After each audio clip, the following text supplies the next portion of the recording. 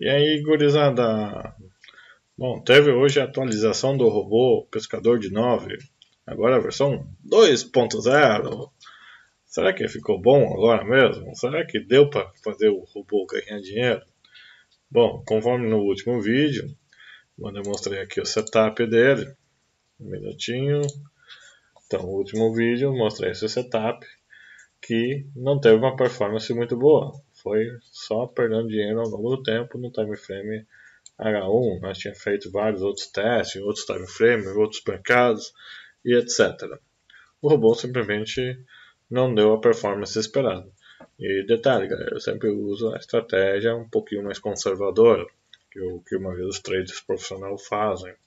A cada trade, simplesmente eu pego uma pequena quantidade de dinheiro do saldo em percentual. Então, percentual, vamos dizer, é fixo. O que muda é a quantidade de contratos na mão conforme o valor do meu stop loss. Então, eu calculo a quantidade de contratos.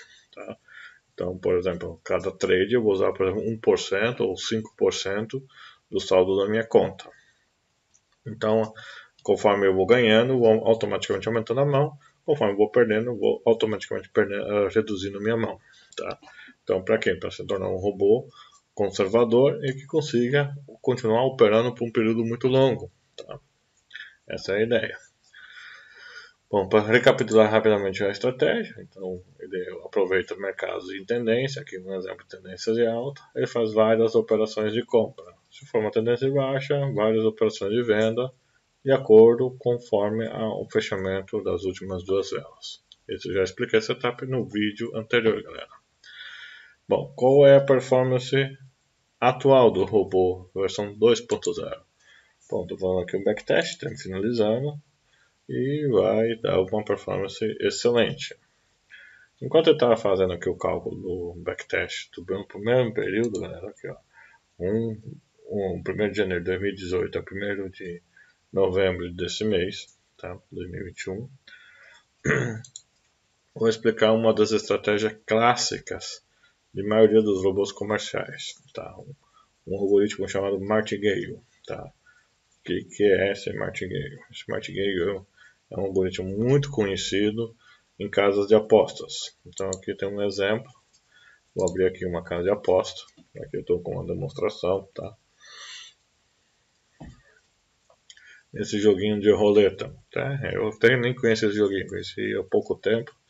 Até que é divertido. Tem várias regras que eu até achei meio complexo, mas vamos para o básico, tá?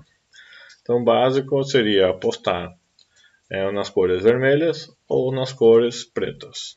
Tá? Basicamente é isso. Qual a minha chance de eu conseguir apostar na cor preta? Quase que 50%. E na vermelha, o mesmo, a mesma taxa de acerto, quase 50%. Por que quase 50%? Porque aqui, se vocês olharem as roletas, então ela está mista entre vermelhas e pretas, mas tem uma posição, que é aqui na cor verde, a posição zero.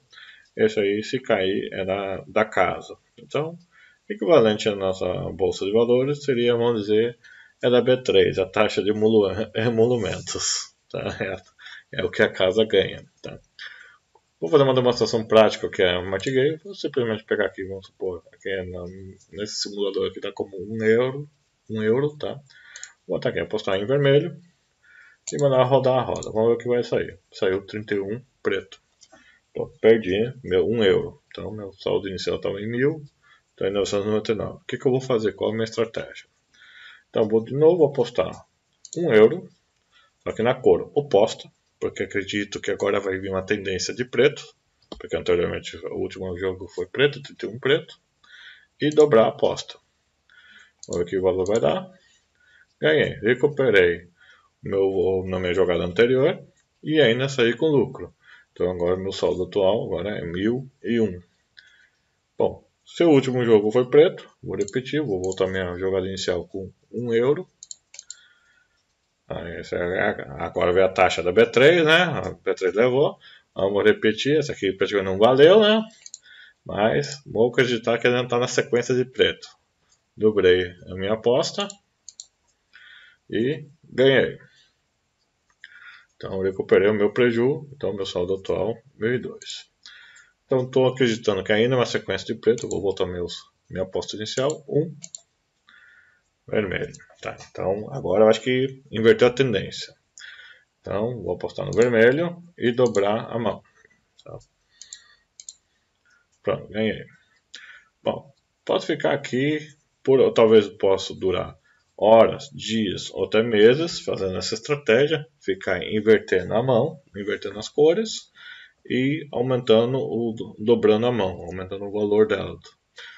Então, nas casas de cassino é bem conhecido essa é a estratégia de martingale. Já tem até o botãozinho pronto aqui, vezes dois, tá, galera? E o que, que as casas de cassino fazem para se proteger? Ela te limita. Então, aqui no exemplo aqui, acho que chega até 200 euros, ela não deixa mais dobrar. Então, não posso jogar 500 euros. Ela desbloqueia em 200, tá? Então, você pode ficar pode acontecer uma sequência perdedora, você perder 10, 15 vezes seguidas.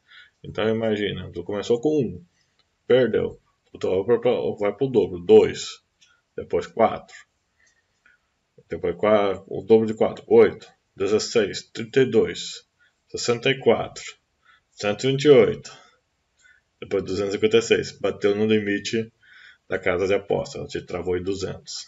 Então é um exemplo clássico de martingale, tá? Então, quando o martingale funciona? Quando você tiver, por exemplo, um saldo infinito e a casa também não te limita. Ah, Rodrigo, mas é, que você falou na B3 não tem limite, né?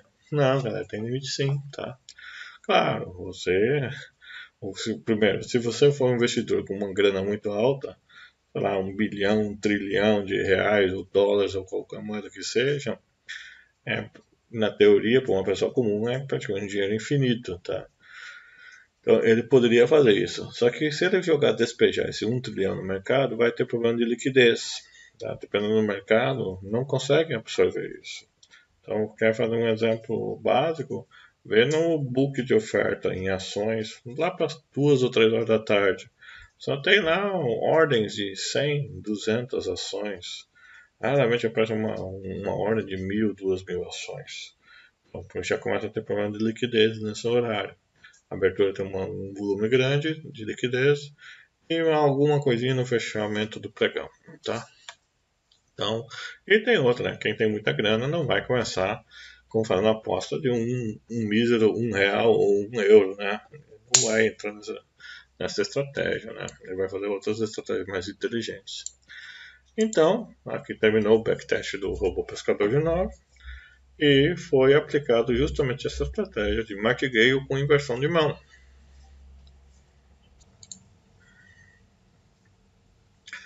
Bom, galera, então, como estava falando, desculpa o corte do vídeo. Então, o que aconteceu? O robô está com um crescimento constante, parecendo que é uma renda fixa, e tem um momento que o mercado deu ruim, fazendo várias dobras de mão e inversão de mão, mas conseguiu recuperar. Voltou no mesmo procedimento, um nova queda que deve ter pegado uma sequência razoável de perdas, e assim foi sucessivamente. Porra, então essa estratégia é infalível? Não é infalível. Daqui a pouco eu vou repetir esse backtest em outro time frame vocês vão ver que não vai ficar bom. Tá? Como é que eu caracterizo que um robô tem um algoritmo martingale embutido? Muitos não, não falam, simplesmente mostra um gráfico, desculpa, este aqui. Esse aqui é o gráfico clássico de backtest de com martingale. Uma linha praticamente reta, parecendo uma renda fixa, mas tem alguns momentos que deu um down down violento, tá? Aqui também simulou aqui iniciando 10 mil dólares para ele conseguir segurar essa oscilação. Se ele iniciasse com mil dólares, ele ia ficar ganhando essa mesma quantidade. Vai chegar um momento aqui, ó, down de praticamente 3 mil e poucos dólares. Teria quebrado a conta. Outra brincadeirinha que o pessoal faz, aqui um exemplo. Mesmo gráfico mesmo padrão, aqui é o gráfico típico para quem usa martingale. É outra brincadeirinha aqui, até que achei bacana essa figurinha aqui. É igualzinho, gente. É exatamente isso aqui. Vai ter um crescimento, mas vai ter um momento que vai quebrar. Tempo leva para quebrar? Não tem como estimar, galera. Isso é, é dado estatístico. A mesma coisa você brincar de cara e coroa. Quando, qual a probabilidade de você pegar 10 caras seguidas ou 10, 11 coroas seguidas? Existe a probabilidade? Existe. Um dia que existir, vai acontecer isso aqui. Você acumulou um salto, vai perder tudo e não vai quebrar a conta. E aí, galerinha. Fiz um rápido backdash time frame em minutos. Olha, o robô tá com um pouco de sorte, hein, galera. Eu tô querendo demonstrar ele quebrar, mas não quebra mais, não. O mesmo conceito aqui, ó. Vai ganhando de pouquinho, pouquinho, pouquinho. Tiver uma linha reta. E aqui acontece os efeitos de martingale. Aqui ele tá, começou com 10 mil, acumulou mais ou menos em torno de 11 mil e quase 12 mil. Teve um drawdown. 12 mil foi parar para 9 mil. Então, um drawdown de 3 mil dólares. Tá. o robô conseguiu se recuperar. Se recuperou bem. Por que se recuperou bem? Porque, no caso, essa estratégia que eu uso é o fator de risco 1.5. Ele se recupera total. Martingale clássico, o pessoal usa o fator de risco 1 para 1. Tá? Então, o robô ia voltar exatamente do ponto onde parou. Então, novamente, outro drawdown. Aqui já temos drawdown um pouquinho maiores. Que partir aqui, como estava em torno de 25 mil, caiu aqui, teve um pico. 19 mil. E logo robô conseguiu recuperar. Vou fazer mais então um, um backtest, galera. Já retorno. E aí, gurizada. Fiz o, repetir o backtest agora usando um time frame de 5 minutos. Aqui ficou já um pouquinho mais claro a questão do martingale quebrar a conta. O robô ainda conseguiu sobreviver por causa da estratégia que tinha implementado. Então aqui mesmo a característica foi crescimento constante, alguns martingales aqui no meio do caminho, mas ele recuperou bem. Teve um momento que saiu de 11.800 dólares caiu para 6.900, tá? Uma perda razoável de uns 40%. Então, ele, o robô continuou operando? Porque eu uso aquele gerenciamento do cálculo percentual. Então chegou um ponto que ele teve que dobrar tanta mão e bateu no limite. Simplesmente não consegui mais abrir a operação porque era um volume de contratos tão grande que eu precisaria ter uma garantia em conta, na, na conta da corretora para liberar a operação o cálculo da margem que a própria corretora, o Forex, permite. Na conta B3 tem algo similar também, você tem que colocar, digamos, 100 reais para operar um ou dois mini contratos, algo similar a isso, tá? Então aqui bateu, caiu muito a reserva que você tinha na conta, não conseguiu ter mais a margem, então o robô teve que reiniciar do zero, praticamente começando com 0.1 contratos, 0,1 contratos.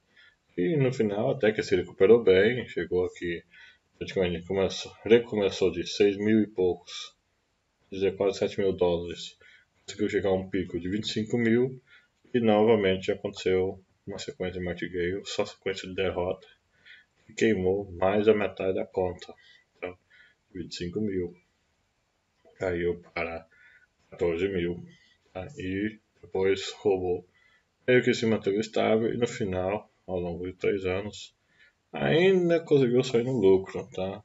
Conseguiu ter um lucro final de 1.800 eh, dólares, tá? Iniciando com saldo de 10 mil. Quem ia iniciar com uma conta de mil dólares não seria suficiente fazer essa sequência de martingale. Esse é ativo de mercado porque o E100 não é tão caro, tá? mas tem ativos um pouco mais em conta, mais barato. Por exemplo, o, o índice do Yen japonês, JP225. É um pouquinho mais barato, mas também é um, é um índice muito lento.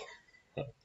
Então aqui está repetindo o teste. Mil, mil dólares provavelmente ia quebrar a conta, porque para fazer martingale, chegando um download de 3 mil não, não ia ser suficiente. Bom, galerinha, é isso aí que eu queria falar sobre martingale. O robô está disponível no link da descrição. Provavelmente o robô está disponível para a versão demo. Tá? aguardando para avaliação de vocês, comentários, sugestões, melhorias, sugestões de próximas estratégias que eu tenho que validar, testar, tá? Aqui, gente, ó. Obviamente o backtest abandonou no meio do caminho, quebrou a conta. Então tem que tomar muito cuidado em martigueio, tá, pessoal? Então tá, eu também segue o, o link, quem quer iniciar no mundo Forex, no link da corretora XM, pode iniciar uma conta que a própria XM deposita 30 dólares para você iniciar e você pode sacar os lucros. E ela tem conexão a tudo que é forma financeira brasileira. Boleto, transferência bancária, Pix, N coisas, tá? Fiquem à vontade para explorar. Então, é um abraço para todo mundo e fica, aguarde o próximo vídeo.